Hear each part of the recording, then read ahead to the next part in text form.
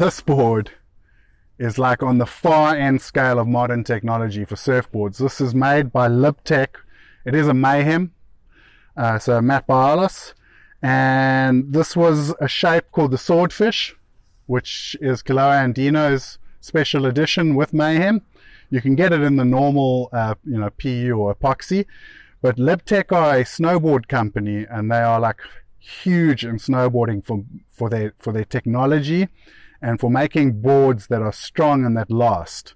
So they've carried that through now into surfing, and these are being made in the States. And I mean, you can see that hexagon weave. I gotta tell you, like straight off the bat, like there are little things you could just see. Like on the rail here, it almost looks like plastic. I mean, it's not plastic, but it looks like plastic.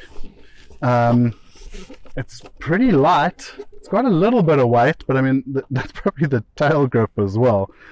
Um, you can see the carbon stringer down the middle, but it's not actually a stringer, it's just a carbon strip. I really like this little sort of kink in sort of wing and can surf again as uh, the five fin option. These are actually Libtech's boxes. At first, I was very confused. I was like, how does my futures fin go in there? But Libtech make their own fins, but they have assured me that an FCS will go in there. So we'll be using the FCS 1. Uh, apparently it takes an FCS 2 as well. I don't have those.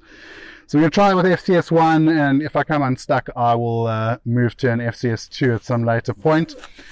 Board uh, has got really nice outline, very like sharp through here and it look, just looks like a super fun board. Like it looks like one of those boards you're going to paddle out like at you know in fun beach break or like a lot of the advertising I saw for it was uh, at Trestles, and we've got yo-yos up the road. So I think I'm really excited to surf this. It's a uh, 6'2", 2125, 275, 40 liters on the dot.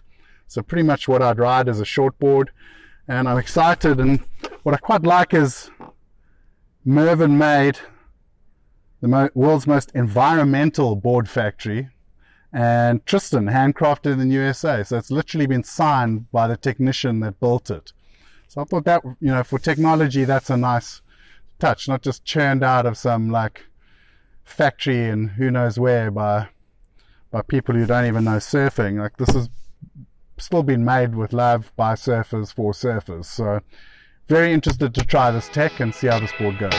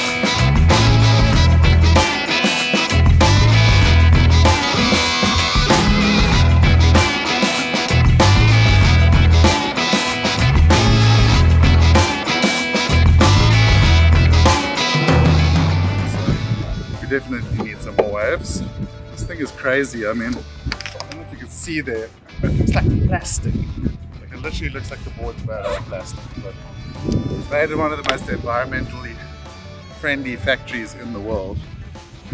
So um, yeah, it's a crazy concept. It just looks mad, but it's super light. So let's see how she goes in tiny, teeny, puppy little waves.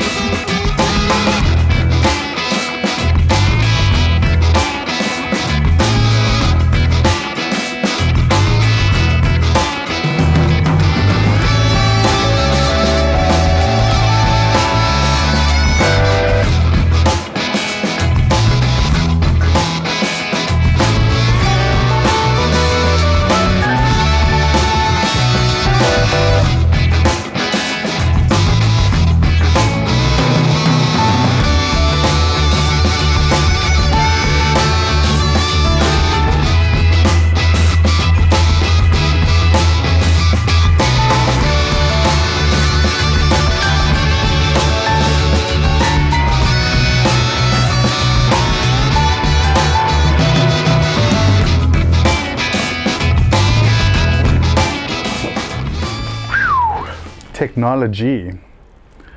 This board, wow. I mean, Kolohe Andino designed it with uh, Mayhem and it's called this, the KA Swordfish. Kind of a mix between the high performance shortboard and a fish. Uh, all the teaser footage I watched of it with the Mayhem team was thruster. They all wrote it as thruster, so that's what I've been surfing it as. I kind of want to try it as a twin because it is a swordfish. Um, Libtech do their own fin system. You can put FCS or FCS2 in. I had FCS from Scarfini, so that's what I used. Um, I don't have FCS twins though, so I haven't been able to pop those in. And today, the third session on this board, I think the twin really would have been a good choice.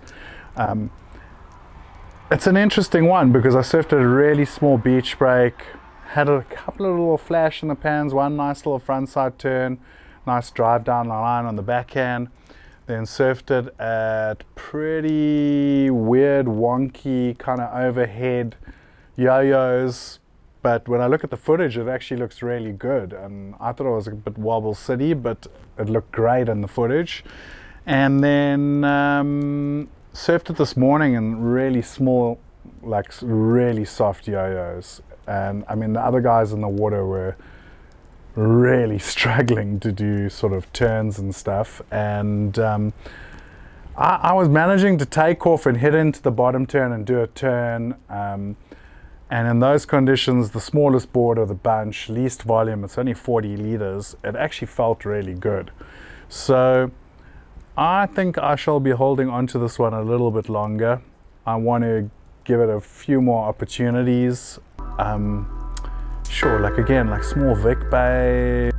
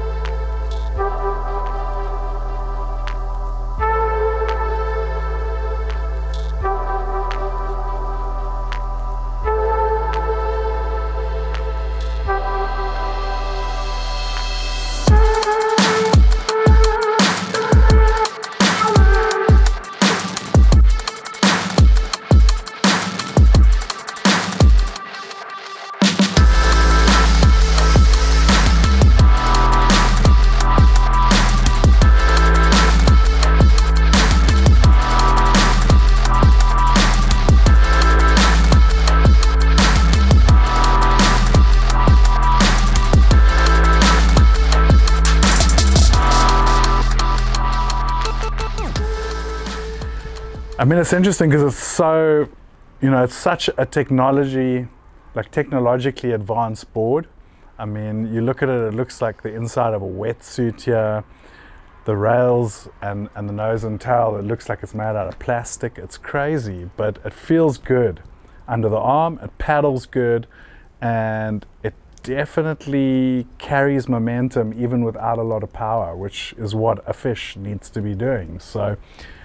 I definitely want to surf this some more. I'm actually pretty excited to surf it some more. It's probably the most expensive board we've had on the show so far, but if you look at their promo material, I've, I've seen an F250 truck drive over one and it was fine.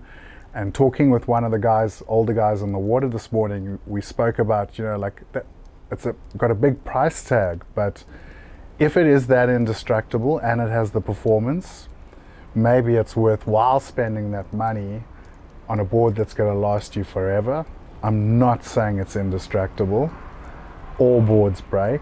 I've had personal experiences with very, you know, super technology boards that are, are supposed to be stronger and they break on the first session.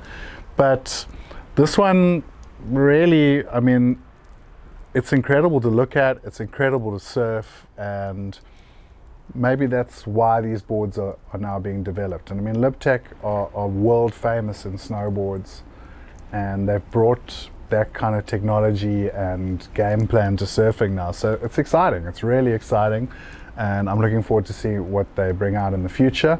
I'm looking forward to seeing what, what, what other guys do with technology and where we're going.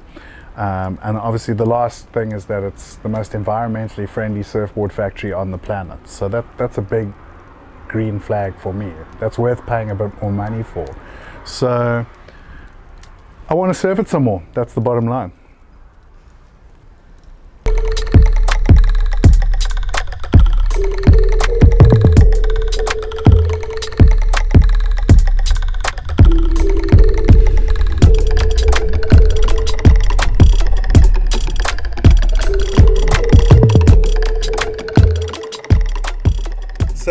Want to be on the regular guy. The good news is you can be on season four. It's not going to be in this rough Weskus environment. It's going to be up on the south coast of Natal, KwaZulu Natal. It's going to be warm water, right point breaks, crazy people, even crazier boards. And the good news is, is that if you win that place on the tour with me, you get to keep one of those boards, the one you like most. Don't need to be a guy, you can be a regular girl as well. The details to enter are below in the bio for the video. Get on it, send in your submission. I'm going to choose my favorite, and they're going to get to come be on the regular guy with me, Captain Kai, on the south coast in June. You've got to be available for 10 days of filming, so bear that in mind. In the meantime, cheers.